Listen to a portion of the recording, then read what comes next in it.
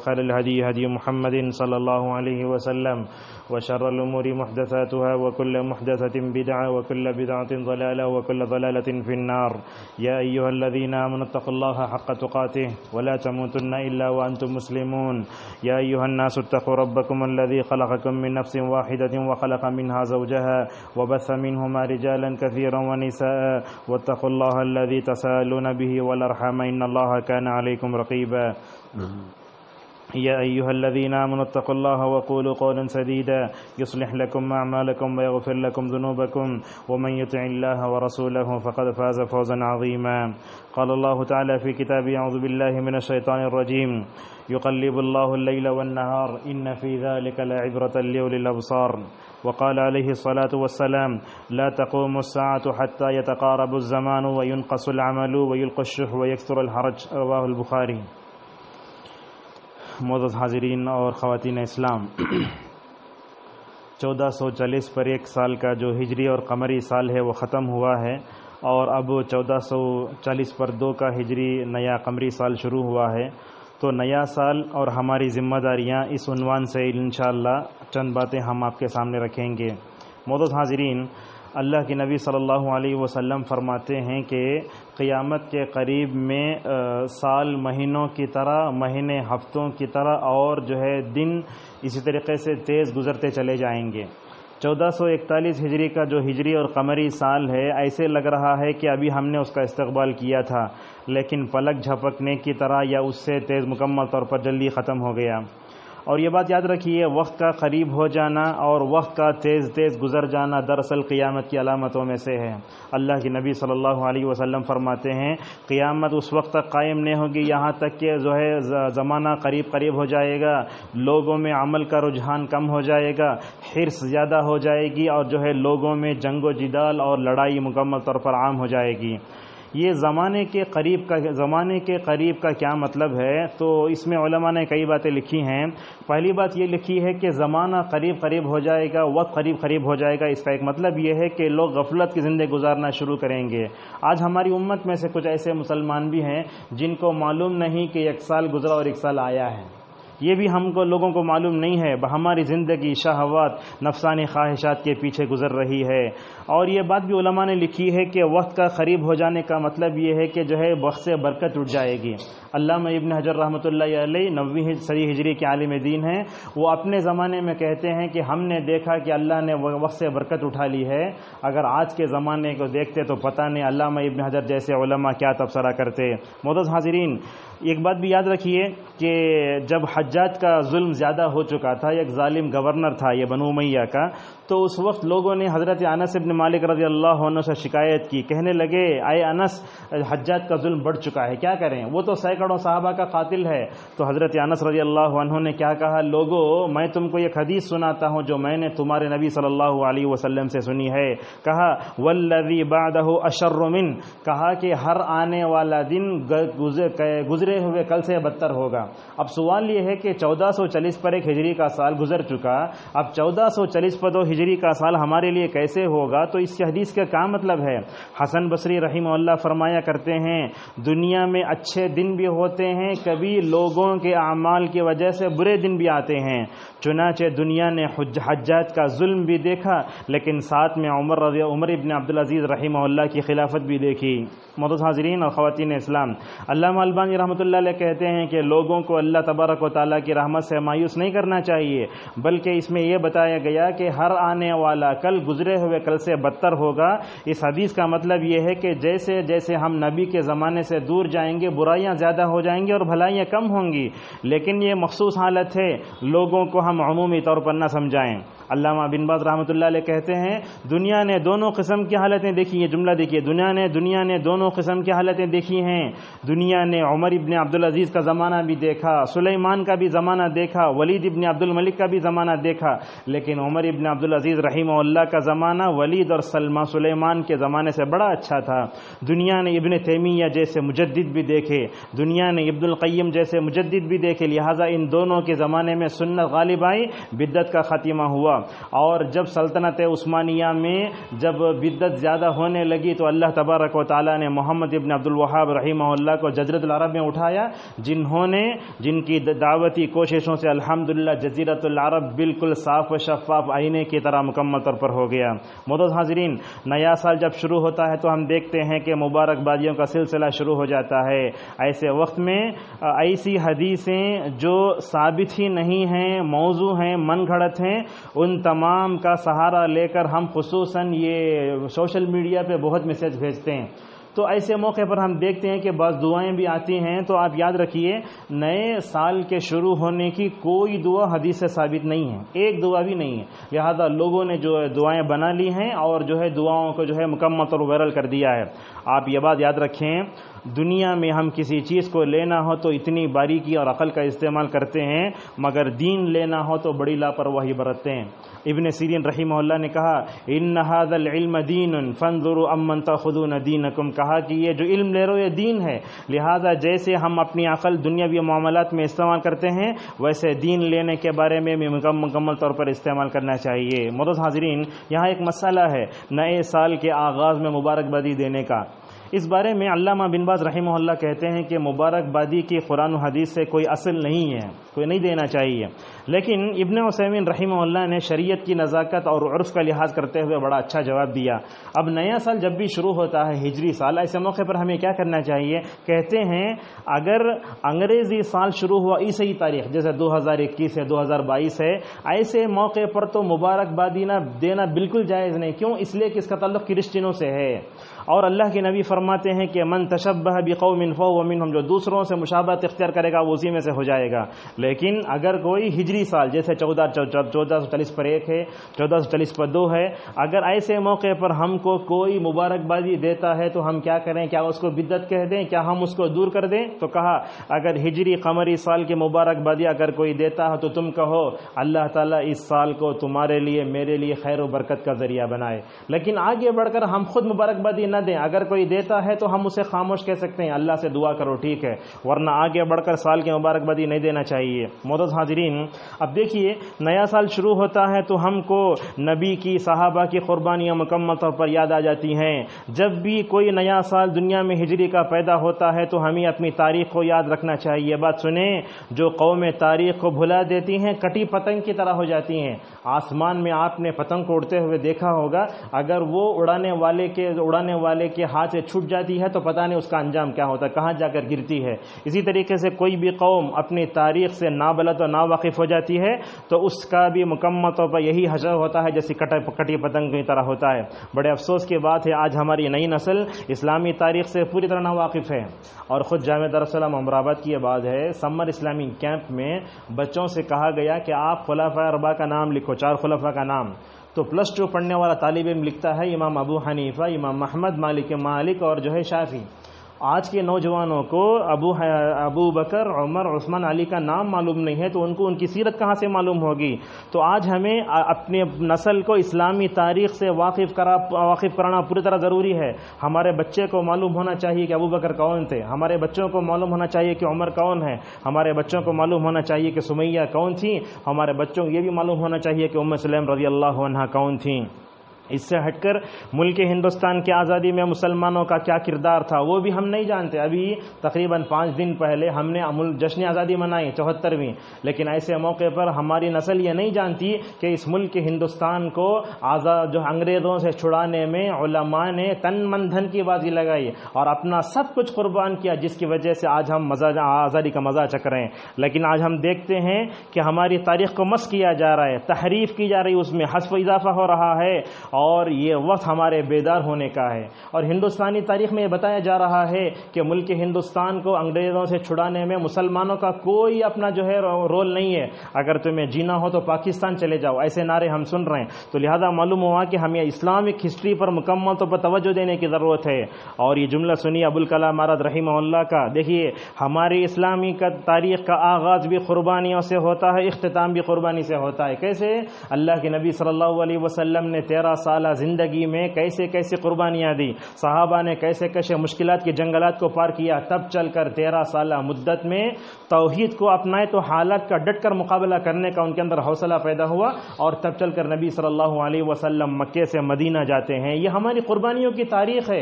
तेरह साल तक साहबा ने और आपने जो कुर्बानियाँ किया, उस कुर्बानियों का समरा अल्लाह की नबी सल्लल्लाहु अलैहि वसल्लम को अल्लाह ने मदीने की हिजरत के जो है तौर बताया। और ये बात याद रखिए कि ये हिजरत के मौके पर, ये नए साल के मौके पर जहाँ हमें हिजरत की वो शहाबा की कुर्बानी नज़र आती हैं, इसी तरीके से साल का अख्ताम होता है तो हम इसमाइल की कुर्बानी को याद करते हैं। तो हमारे तारीख का आगाज़ भी कुर्बानी से होता है और हमारी तारीख का अख्ताम भी कुर्बानी से होता है। और ये बात याद रखिए, जब हम इन कुर्बानियों को पढ़ते हैं तो सोचे हमने और आपने इस्लाम के लिए क्या किया है? सहाबा ने कैसे मुश्किल को पाकर हम तक इस्लाम को पहुँचाया। हम और आप हैं कि गलब इस्लाम की कोशिश के लिए अपने ज़िंदगियों को कितना लगा रहे हैं। इमाम मालिक रही के इस कौल को तो सोने के पानी से लिखा जा सकता है। अगर उम्मत का आखिरी हिस्सा अपने अंदर दुरुस्तगी पैदा करना चाहता है तो उसको चाहिए कि वो सहाबा की नक्श कदम पर चले। जैसे साहबा कराम सही रास्ते पर चले थे, उस रास्ते पर चलकर उनको कामयाबी मिली। अगर हम भी दुनिया में कामयाबी चाहते हैं तो मुकम्मल तौर पर हमें सहाबा के रास्ते पर चलना होगा। और सहाबा सहाबा के रास्ते को कैसे पकड़ना? अगर मोटे मोटे अंदाज में मैं आपके सामने कहूँ, दाढ़ के अंदर कोई हाथ चीज़ रखकर हम कैसे दबाते हैं? मज़बूत बुझिए। अल्लाह के नबी वसल्लम ने वो लोग इस्तेमाल फरमाया, जैसे तुम दाढ़ों में किसी चीज़ को रखकर मजबूती से दबा कर पकड़ते हो ना, इसी तरीके से सहाबा के रास्ते को दबा के पकड़ो। अज्जु अलैहा बिन नवाजिज। मोदोज हाजरीन, कुर्बान जब उमर रज़ी अल्लाह पे, जब इस्लामी तारीख को तरतीब देने का वक्त आया तो आपने सहाबा को जमा फरमाया। किसी ने कहा कि रसूल की पैदाइश को बुनियाद बनाओ। अगर रसूल के पैदाइश को बुनियाद बनाया जाता, बरेल भी खुश हो जाते।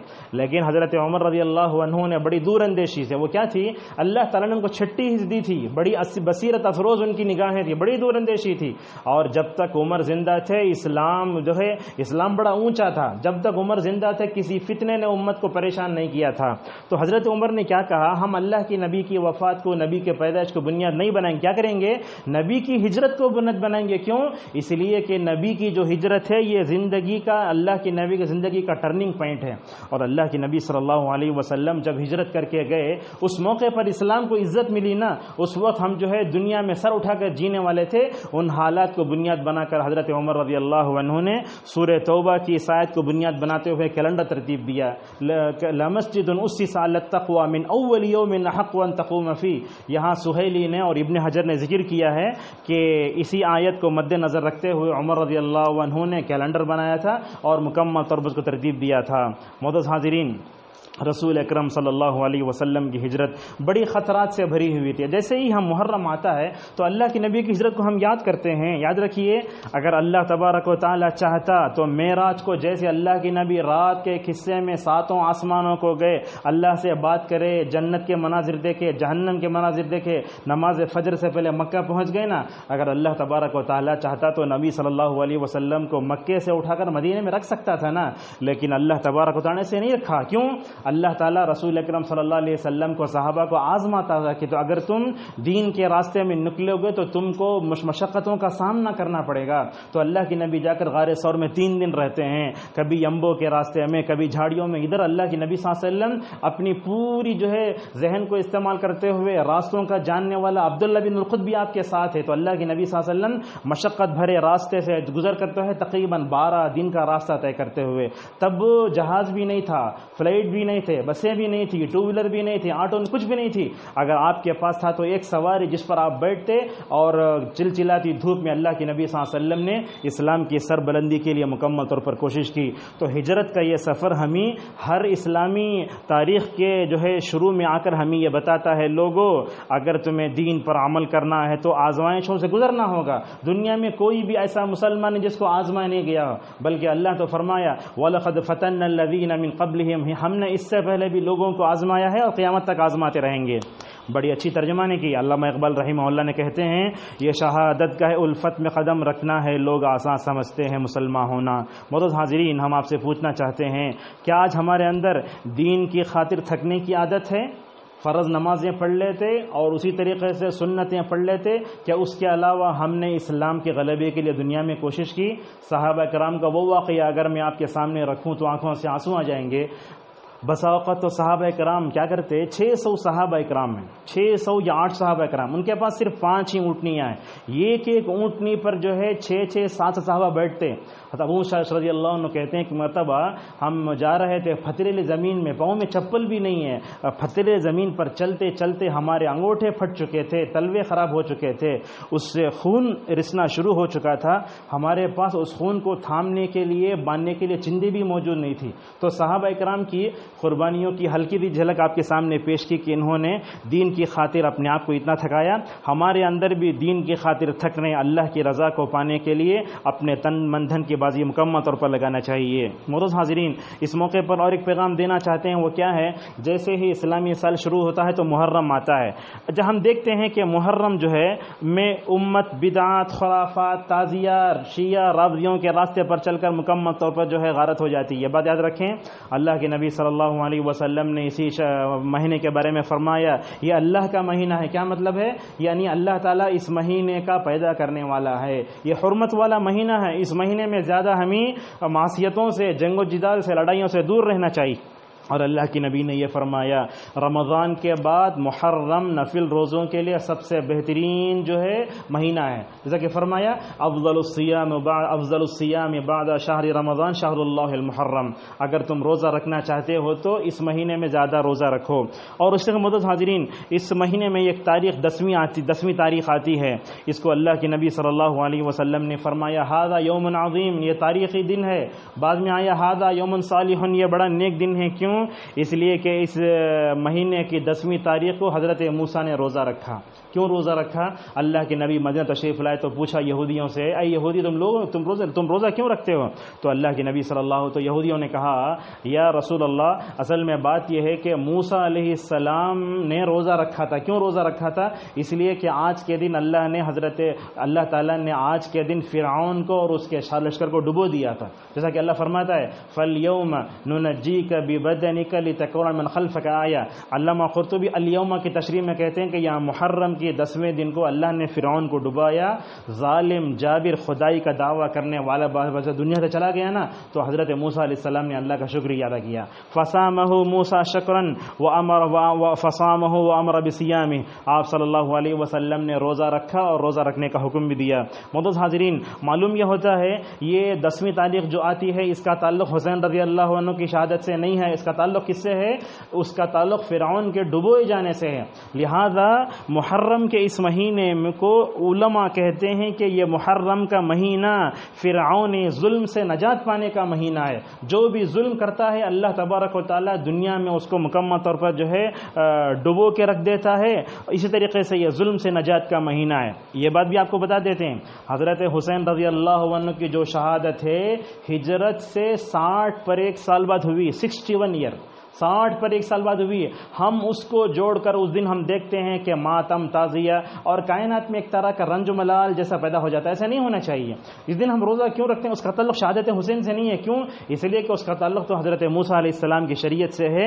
उस दिन हज़रत मूसा ने अल्लाह का शुक्रिया अदा किया था। मोदस हाजरीन, ये महीना शिया रावियों से बचने का महीना है। एक तारीख एक तारीख हम आपको बताते हैं। आज आलम इस्लाम पर नज़र दौड़ाइए। आज ये शिया दुनिया अहलुसन सुन्ना वल जमा के लिए एक जो है चैलेंज बरकर दुनिया में उभर रहे हैं। ये शिया जो है, असल में यहूदियों के पैदावार हैं। यहूदियों ने शिया को पैदा किया और शिया क्या करते हैं? पूरे आलम इस्लाम के लिए मुकम्मल तौर पर एक ख़तरा बन के उभर रहे हैं। और ये बात याद रखिए, अगर आपका कोई भी दोस्त, खुला दोस्त है, आप उससे डरते नहीं। अगर आप, आपका कोई खुला दुश्मन है, उससे डरते नहीं। लेकिन आधा दोस्त, आधा दुश्मन, उससे आप डरते हैं। ये शिया की मिसाल उन्हीं मुनाफिकिन की तरह। ये देखने में हमारे मुसलमान तो लगते हैं, लेकिन अबू बकर, उमर रज़ी अल्लाह को गालियाँ देते हैं। लिहाजा मालूम हुआ कि ये शिया का जो इंटरनेशनल चैलेंज जो हमारे दरमियान में आ रहा है, हम उम्मत प्लानिंग करें, उनका मुकाबला करने की कोशिश करें और उनके गलत अकायद से बचने की और अपने घर वालों को बचाने की कोशिश करें। कैसे? अली रज़ी अल्लाह का नाम तो लोग कहते हैं, अली करम अल्लाह वजह। कभी कहते हैं, अली अलैहिस्सलाम ऐसा नहीं कहना चाहिए। क्यों? इसलिए कि तमाम सहावत अली रज़ी अल्लाह रज़ी अल्लाह कहा जाता है तो उनको भी रज़ी अल्लाह कहना चाहिए। मोदस हाजरीन, नए साल के आगाज़ में हमें मुशाबहत से मुकम्मत और बचना चाहिए। हम देखते हैं ईसवी साल के आगाज़ में, जैसे रात में बारह बजे घंटी बजती है, लोग केक उड़ाते हैं और म्यूज़िक बनाते हैं, पता नहीं क्या क्या करते हैं। ऐसे वक्त में हम देखते हैं कि कुछ लोग गैर मुस्लिमों की जो है मुशाबत इख्तियार करते हुए नज़र आते हैं। देखिए, यहूद व नसारा की हमें ज़र्रा बराबर भी तरीक़े पर चलना नहीं चाहिए। जिन पर अल्लाह का गुस्सा हुआ, क्या हम उनके रास्ते पर चलेंगे? जिनको अल्लाह ने बंदर और खंजीर बनाई, क्या हम उनके रास्ते पर चलेंगे? अगर हम उनके रास्ते पर चलते हैं तो गोया अल्लाह और उसके रसूल सल्लल्लाहु अलैहि वसल्लम के गुस्से को हम दावत दे रहे हैं। अल्लाह के नबी ने कितने मौके पर कहा कि अय उम्मत मुस्लिमा, यहूद व नसारा के तरीके पर मत चलो। शहरी देर खाओ। क्यों? इसलिए कि यहूदी शहरी नहीं करते। तुम, अगर तुम्हें कभी मौका मिले तो चप्पल पहनकर नमाज़ पढ़ लो। इसलिए कि यहूदी चप्पल में नमाज़ नहीं पढ़ते। किसी मौके पर आपने फरमाया। और अल्लाह के नबी वसल्लम ने कितने मौके पर कहा, यहूद व नसारा से बच कर रहो बच कर रहो। लेकिन आज हम देखते हैं, तालीम के मैदान में भी, बैंकिंग के सिस्टम में भी, सारी चीज़ों में मुकम्मल तौर बन के रास्ते पर मुकम्मल तौर पर चल रहे हैं। मोमिन कैसे होता है? मोमिन तो वो होता है, लम यखिर सुम्मा व उमियाना। वो अंधा गूँगा बनकर किसी चीज़ को कबूल नहीं करता, बल्कि वो चीज़ को मुकम्मल तौर पर देखता है। आज हमें इनकी तहजीब को लेकर फ़ख्र नहीं करना चाहिए, बल्कि हमें इस्लामी तहजीब पर मुकम्मल तौर पर फ़ख्र करना चाहिए। हमारी जिम्मेदारियाँ क्या हैं, वो बता करके अपनी बात को ख़त्म करेंगे। हमारी सबसे पहली ज़िम्मेदारी ये है, जो नया साल शुरू हुआ है, हमें लंबी मुद्दत से धोखा न खाएँ। अल्लाह ने मुझे और आपको ज़िंदगी दी है ना? ये लंबी मुद्दत हमारे पास है, अभी हमारी मौत न आएगी, ज़िंदगी लंबी है, से धोखा न खाएँ। कहते हैं, चार चीज़ें इंसान को बदबक बना देती हैं। कौन सी कौन सी चीज़ें? एक तो दिल का सख्त हो जाना। और दूसरा है आँख से आँसू का ना आना, और तीसरा है लंबी मुद्दत लंबी उम्मीदें, और चौथी है दुनिया की हिरस। ये चार चीज़ें आती हैं। बंदा जो है बंदे का दिल मुकम्मल तौर पर जो है सख्त हो जाता है। रजुल मोमिन के उन जुमलों को याद करो जिसमें उन्होंने दुनिया की कीमत बताई थी? कहा, या कौम इन नमा हादिल हयात दुनिया मता व अन आखरत दारुलक़रार अपने नफ्स का जायज़ा ले, मैं कहाँ हूँ, मैं क्या कर रहा हूँ? काम करने से पहले, काम करने के बाद भी चौदह सौ चालीस पर एक में कितने फ़रज़ हमसे छुटे? हम जो है चौदह चालीस पर एक हिजरी में मुहर्रम से लेकर जिली जाता कितनी नमाज़ें हमारी छूटी? कितनी सुन्नतों को हमने छोड़ा? कितने रिश्ते हमने काटे? वो, लेकिन वो चीज़ें इस साल हरगिज़ न दोहराएँ। और हमेशा अल्लाह के सामने खड़े होकर जवाब देने का हमें मुकम्मल तौर पर अपने अंदर होना चाहिए। नेक लोगों की सोबत इख्तियार करना चाहिए। नबी की सीरत पढ़ो और उसी तरीके से हमेशा अपने आप को इस्तफार में रखो। आज हम देखते हैं ज़िंदगी में अगर कोई भी काम ना हो तो मोबाइल लेकर बैठ जाते हैं। हमारे होंठों से अल्लाह ताला को याद करते हुए हरकत ही नहीं होती। कहते हैं, दिल ज़िक्र दो तरह का होता है। अल्लाह ताला को दिल में याद करके उसका इजहार ज़बान से करना यही ज़िक्र होता है। अल्लाह के नबी सल्लल्लाहु अलैहि वसल्लम ने फरमाया जन्नती, जब जन्नत में चले जाएँगे तो उनकी हर सांस में ज़िक्र होगा। अल्लाह अकबर, हर सांस में। अल्लाह अकबर, अल्हम्दुलिल्लाह। तो हम उस जन्नत में जाना चाहते हैं तो दुनिया में बैठकर हमें ज़िक्र जैसी जन्नत को भी मुकम्मल तौर पर हमें जो है उसकी तरफ़ इशारा करना चाहिए। और किसी सलफ ने कहा, मन अक्सर ज़िक्र फ़कत बरी अमिन निफ़ाक। जो आदमी अल्लाह का ज़्यादा ज़िक्र करता है, वो मुनाफिकीन के फेरे से निकल जाता है। तो मालूम यह हुआ, अल्लाह का कम ज़िक्र करना यह मुनाफिकीन की अलामत है। फ़ला यदकुर वला अल्लाह कलीला। हम ज़्यादा ज़िक्र करेंगे तो हमारे दिनों से निफ़ाक निकल जाएगा। और उस तरीके से ये नुकता देखो, जिसमानी तौर पर वज़नदार बनने के बजाय क़ियामत के दिन तराजू में वज़नदार बनने की कोशिश करो। आज हम देखते हैं नौजवानों को जिम में जाते हैं, फलां खाते हैं, ये सब करते हैं। फलां दवा खाओ, ये खाओ, वो खाओ बीमारियाँ तो हल्के हो गए। लेकिन कभी हमने ये सोचा, अल्लाह ताला कल हमको तराजू में तोलेगा तो हमारा क्या हाल होगा? तो हम जिसमानी तौर पर वजनदार बने, ये अल्लाह को पसंद है। लेकिन ईमानी एतबार से भी हमें वजनदार बनने की ज़रूरत है। इब्न मसूद रज़ी अल्लाह एक दिन मिसवा के दरख्त पर चढ़े हवाई तो ऐसे हलने लगे। तो अल्लाह के नबी सल्लल्लाहु अलैहि वसल्लम से जाकर इब्ने मसूद ने कहा कि, या रसूल अल्लाह मैं इतना दुबला पतला हूँ बारीक पिंडलियों वाला थे इब्ने मसूद। जब वो हवा आए तो मदीने में ऐसे हलते थे। तो अल्लाह के नबी वसल्लम ने जाकर शिकायत की तो अल्लाह के नबी ने क्या फरमाया, आए साहब कराम की जमात? कसम है उस ज़ात की जिसके हाथ में मोहम्मद सल्लल्लाहु अलैहि वसल्लम की जान है। तुम जो है, हज़रत इब्ने मसूद की बारीक पिंडलियों को देखकर उसका मज़ाक उड़ाते हो, ताज्जुब करते हो। कसम अल्लाह की, जिसके हाथ में मोहम्मद की जान है। इन क़ियामत के दिन इब्ने मसूद के दोनों पैर पुराने। इब्ने मसूद के दोनों पैर क़ियामत के दिन मीज़ान में ओहद पहाड़ से ज़्यादा वजनी होंगे।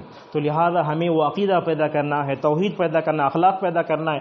जो भी चीज़ हमको क़ियामत में मीज़ान में वजनदार करेगी, उसको मुकम्मल तो पर तवज्जो दो। अपने आप को और अपने घर वालों को जहन्नम से बचाने की कोशिश करो। गुनाहों से दूर रहो। ये गुनाह ऐसे होते हैं, हम ज़ाहिर तौर पर क्या है, अल्लाह ने गुनाह में लज्जत रखी है। वक्ती तौर पर जो है लज्जत मिलती है।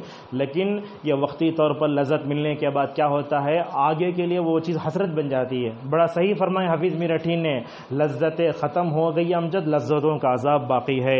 गुनाहों से दूर रहिए, उसके नुकसान दुनिया और आखिरत में मुकम्मल तौर पर नज़र आते हैं। अपने ज़ाहिर के बजाय बातिन पर इसलाह करने की कोशिश करें। आज हमारे पास अपने बालों को दुरुस्त करने, हमारे पास कंगियाँ हैं। अपने चेहरे को चमकाने के लिए पाउडर है, लेकिन अपने दिल को आईना बनाने के लिए हमारे पास जो है कोई ज़रिया नहीं है। अल्लाह के नबी वसल्लम दुआ करते थे आए अल्लाह, तूने मेरी सूरत अच्छी बनाई, सीरत भी अच्छी बना दे। इस दुआ को हम आईने के सामने खड़े होकर पढ़ते हैं, उसकी कोई दलील नहीं है, लेकिन आम तौर पर इस दुआ को पढ़ सकते हैं। अल्लाह अंत हसन तखलकी फ़हसन खुलकी। अपने फ़रज़ वाजिबात को मुकम्मल तौर पर अदा करने की कोशिश करें। बहरहाल, बातें बहुत हो सकती हैं। चौदह सौ चालीस पर एक का साल हमसे गुजर गया। हमारी ज़िंदगी का एक साल ख़त्म होकर हम मौत के करीब हुए, कब्र के करीब हुए। लिहाजा मोमिन वो होता है, जब भी जब भी उसको मौत वक्त मिलता है तो वो अल्लाह ताला की जो है अल्लाह ताला की, अल्लाह ताला की रजा रजामंदी को पाने में और अल्लाह को खुश करने में मुकम्मल तौर पर लगाता है ये बात याद रखिए, दुनिया वाले पूरे हमारे से नाला हो जाएँ, नाराज़ हो जाएँ, लेकिन रब राज़ी है तो ये दुनिया की और हमारी ज़िंदगी का सबसे बेहतरीन मकसद है। अगर अल्लाह को नाराज़ कर दें, सारी दुनिया खुश है तो ये गुनाह कबीरा है। अल्लाह ने फरमाया, व रिजवान अकबर। अल्लाह ताला की रजामंदी सबसे बड़ी चीज़ है, हमारी ज़िंदगी का मकसद अपने रब को राज़ी करना है। लिहाजा ये नया साल आया है, अल्लाह से हमारी दुआ है। चौदह सौ चालीस पदों का यह साल, उम्मत के लिए लिए खैर का ज़रिया बनाए।